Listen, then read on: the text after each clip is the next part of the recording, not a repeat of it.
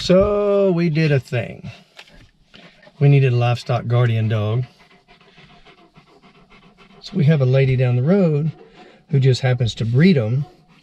Um, she breeds mostly Sarplaninacs, but this is actually a Sarplaninac mix with an Anatolian. She's 13 months old. Her name's Abby. And she's gonna keep our goats safe and happy.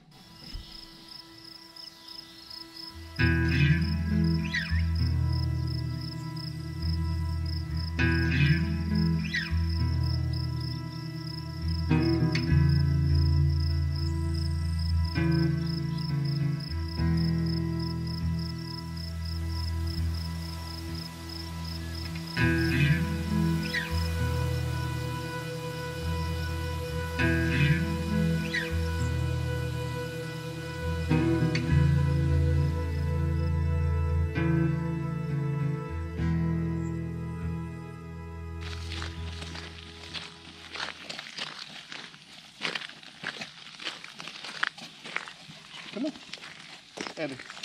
Come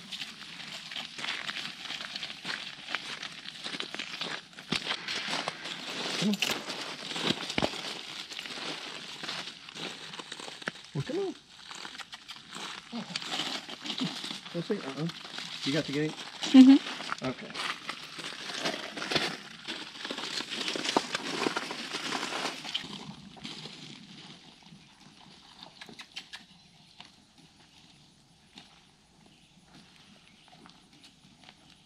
He's like, nope.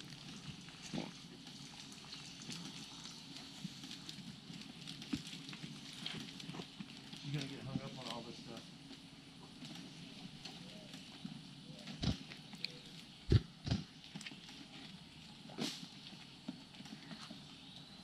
They are definitely curious.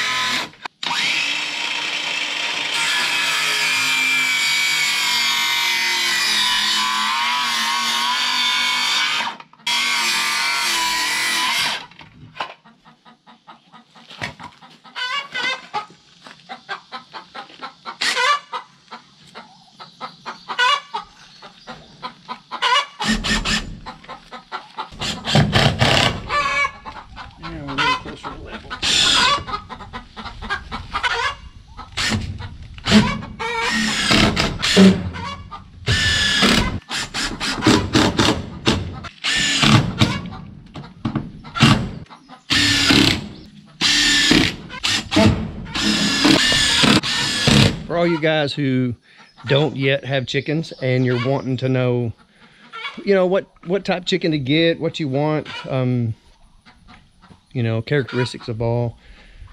If you want noisy chickens, if you're worried about your neighbors throwing a fit or whatever, Americanas Yeah, that's the noisy chicken. Uh, you can hear the squawking going on behind me. The only reason you just hear one doing it is because there's only one in there right now. They do that non-stop. They're the noisiest chickens I've ever been around. Uh, your white cochins, they'll make some noise sometimes. Uh, silver lace Wyandottes, never, I've never heard one make a peep. But yeah, if you want to avoid noisy chickens, stay away from the Americanas for sure.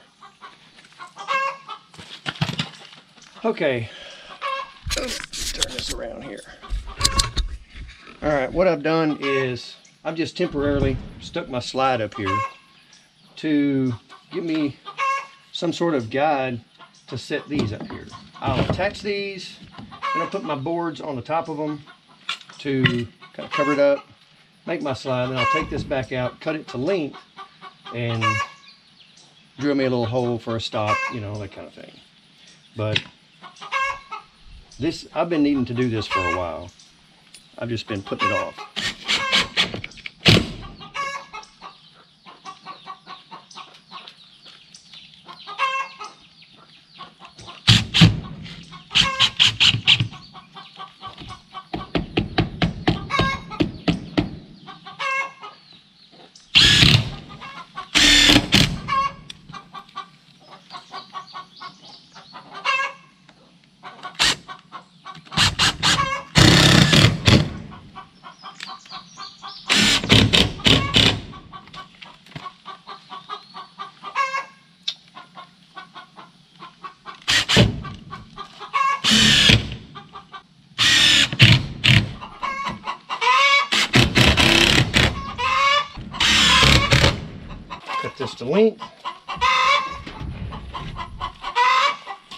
And we'll be almost finished.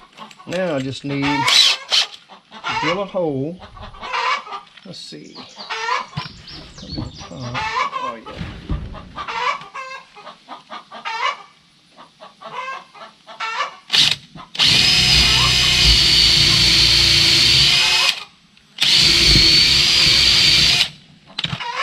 I can pin it when it's down. And I can bring it up here. And do the same thing, pin it up.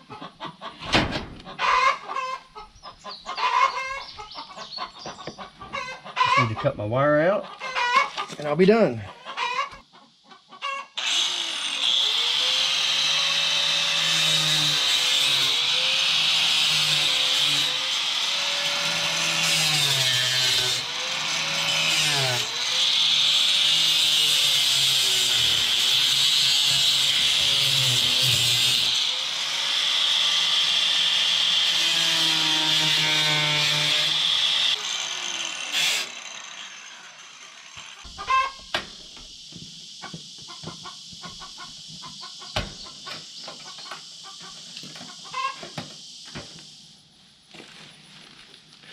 Okay, that should work. Um, it's a small hole. All the chickens can get in and out. The roosters, it'll be kind of snug, but I want it to be no bigger than it has to be. If I have to, I can make it a little bit taller. Um, I just, I'm trying to keep the turkeys out during the day. They get in there, they break the water nipples off, they eat all the food. Um, these five turkeys that we have right now can eat about 40 pounds a day of, uh, of food. They're going to live off grass and bugs and all around. I'm just going to sit here and just pour that much food into them. Um, so this way the younger chicks can still work out of the feeder, get plenty of feed. Turkeys can stay out, but they still get to go in there at night and roost. It just wasn't working out putting them in the trailer. Um, I can open the door in the mornings, let everybody out, close it. The chickens can go in and out of here once they figure it out. Um, and then in the evening, I'll come back and open this up and everybody can go back inside. So that's the plan. We'll see if it works. It's not pretty, but hey, this was free. Um, this was, the whole thing was made out of just scrap stuff I had left laying around. So we'll see how it works.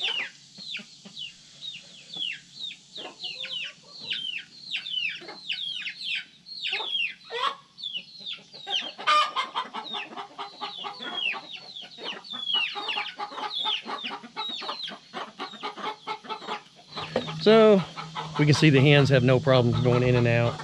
Uh, rooster over there, it's a little bigger. Uh, he has to duck his head a little bit, but he should be able to go in and out. But the turkeys, that's a wrap for the turkeys. No more going in there during the day and messing everything up.